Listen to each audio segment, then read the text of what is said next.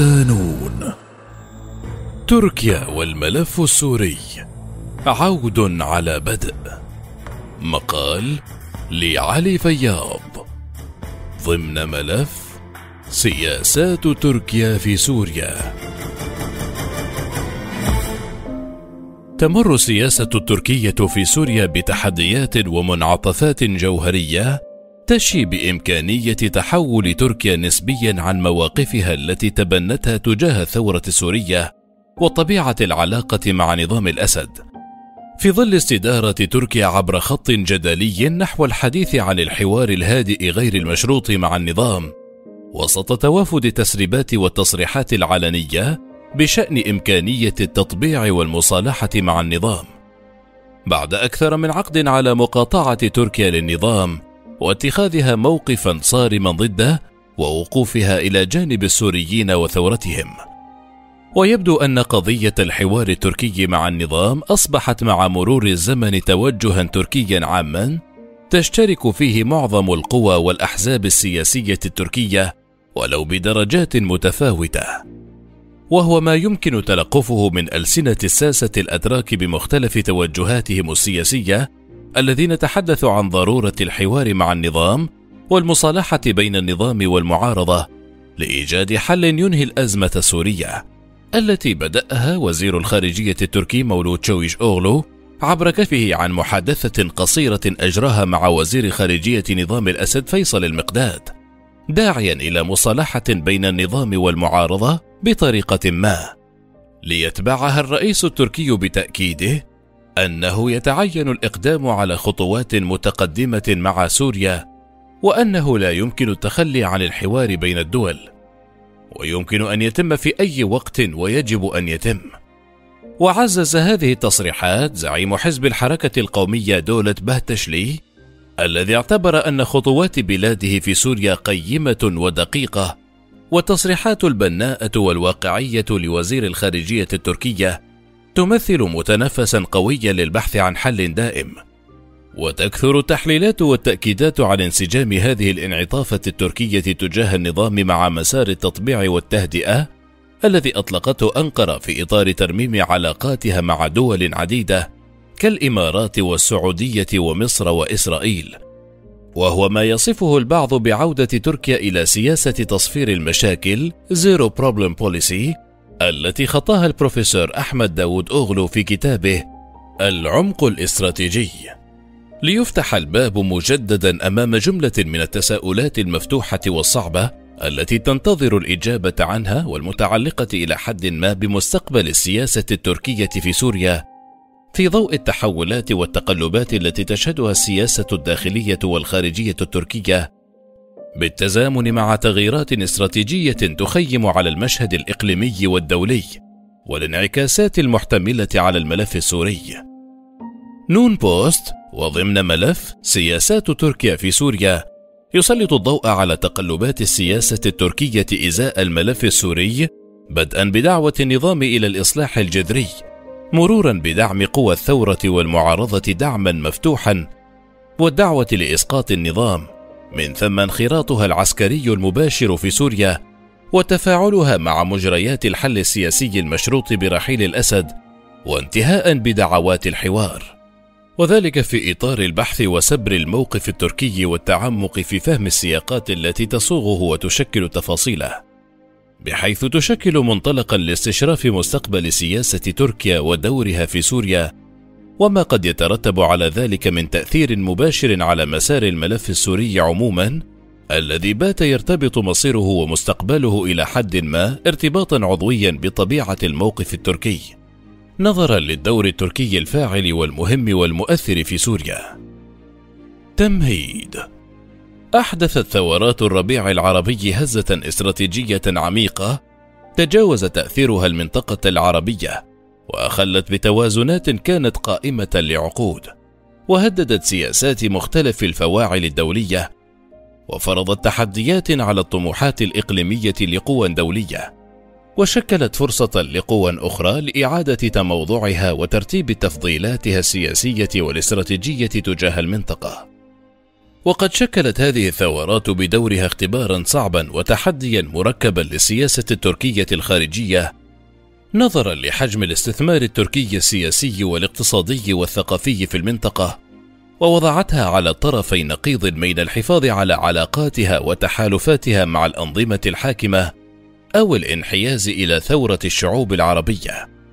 فضلا عن تشكل رؤية لدى صانع القرار التركي بضرورة استغلال الفرصة الاستراتيجية التي جلبتها المتغيرات المصاحبة لثورات الربيع العربي في تعزيز موقع تركيا ودورها في المنطقة وأخذ دور ريادي قيادي مهم في النظام الإقليمي الآخذ بالتشكل حينها.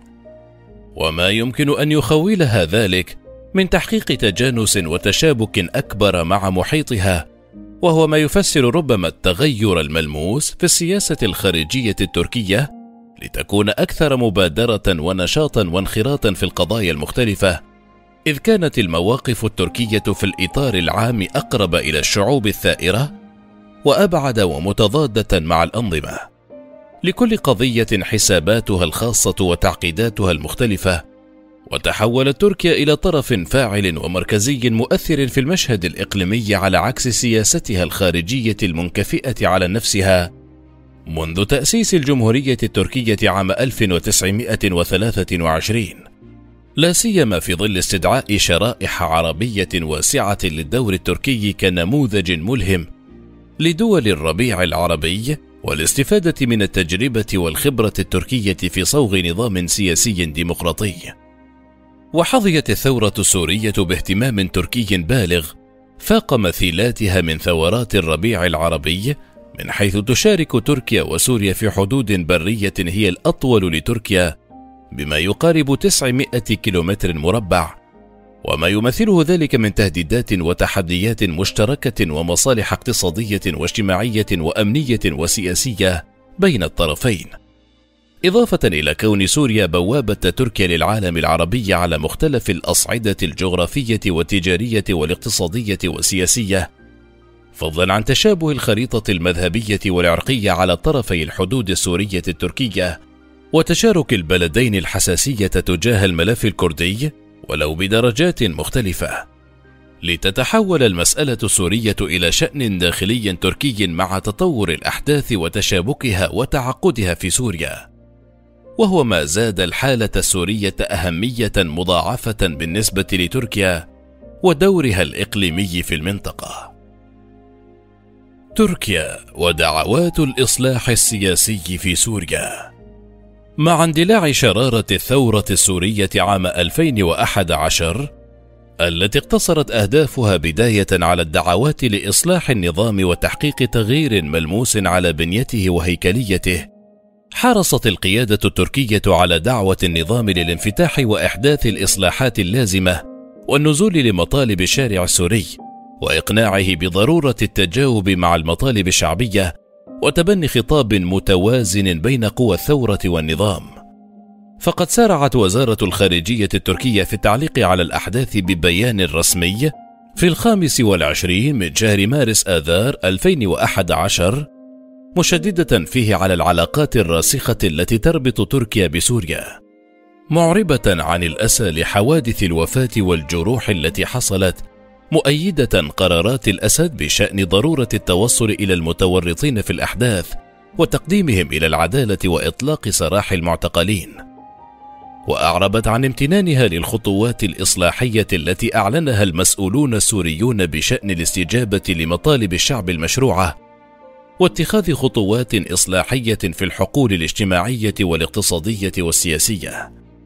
ويمكن القول إن تركيا حاولت تحقيق توازن بين اعتبارات ومحددات حساسة متعددة في آن واحد عند اتخاذ موقفها تجاه الوضع في سوريا، وحرصت على الجمع بين مصالحها الاستراتيجية والإيفاء بالوعود والمبادئ والشعارات التي رفعتها المتمثلة بدعم خط التغيير، كما أن ضغطها الفعلي على نظام الأسد ودعوتها المتكررة له لإحداث إصلاحات سياسية في سوريا الذي ظهر مع اتصالات رئيس الوزراء التركي رجب طيب أردوغان حينها على الأسد وزيارات أحمد داود أغلو المتكررة لسوريا التي حملت بعض الرسائل للأسد في محاولة لإقناعه بضرورة المسارعة في عملية الإصلاح لاحتواء الأزمة الداخلية وإبداء استعداد تركيا لتأمين الدعم اللازم لعملية الإصلاح وزيارة وفد يرأسه رئيس جهاز الاستخبارات التركية حقان فيدان إلى سوريا.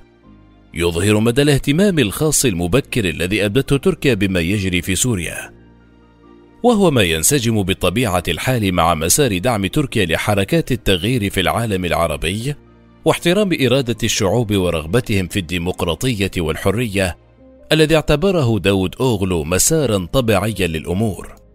وفي ذات السياق يكشف هذا الموقف التركي المتوازن نسبيا حجم التخوفات التركية من تداعيات الوضع في سوريا سياسيا واجتماعيا واقتصاديا وامنيا سلبا على تركيا. في حال خرجت الأوضاع عن السيطرة وتطورت إلى مواجهات عسكرية شبيهة بالحالة الليبية. وما قد يؤديه ذلك من نتائج سلبية على الداخل التركي وعلى سياستها ودورها الإقليمي التكاملي مع المحيط العربي وعلى الاستثمارات السياسية والاقتصادية التركية في سوريا التي نسجتها تركيا بعد عقد من جهود متواصلة دؤوب في بناء علاقة جيدة مع سوريا التي شملت عشرات الاتفاقيات الاقتصادية من بينها الاتفاق على إنشاء منطقة تجارة حرة تجمع تركيا وسوريا والأردن ولبنان عام 2010 فشل دعوات الإصلاح ومرحلة الضغط المحدود على النظام.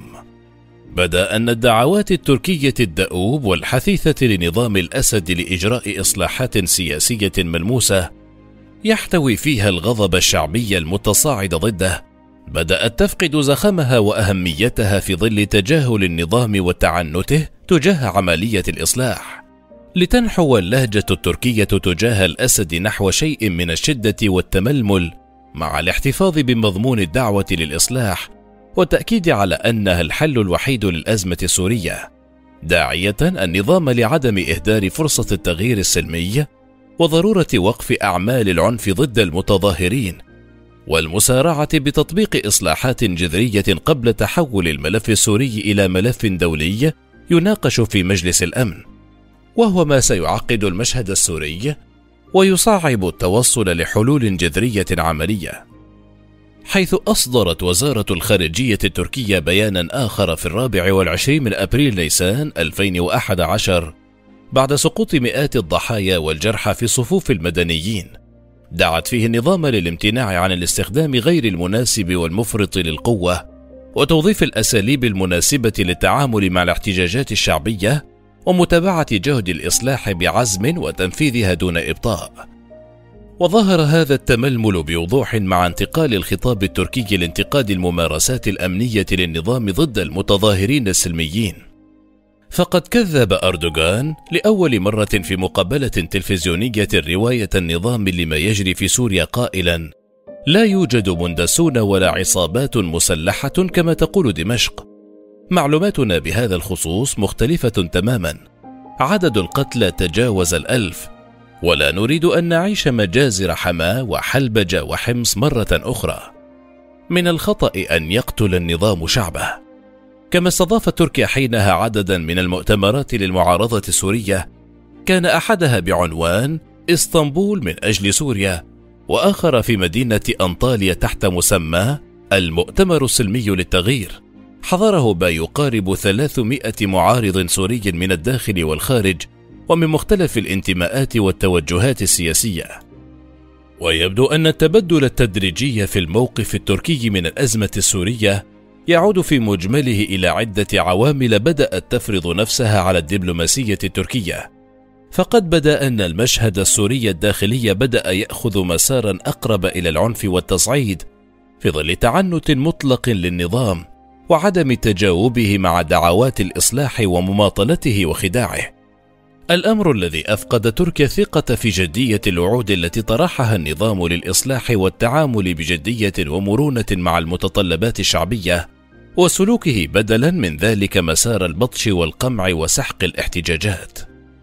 ومن جهة أخرى كان لتبدل المناخ الدولي والإقليمي تجاه الأحداث في سوريا دورا مهما كما يبدو في التأثير على موقف تركيا حيث بدأت الولايات المتحدة والقوى الغربية تفرض بالتدريج عقوبات اقتصادية ودبلوماسية على النظام منذ الأشهر الأولى للثورة السورية.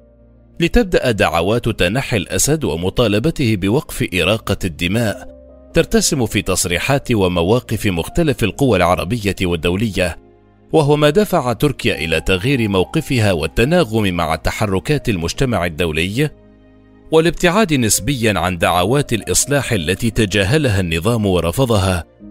والتوجه نحو قطع العلاقات مع نظام الأسد والانخراط أكثر في عملية دعم المعارضة السورية السياسية والعسكرية لإسقاط الأسد وتحقيق التغيير المنشود وهو ما سنناقشه بشيء من التفصيل في تقريرنا القادم.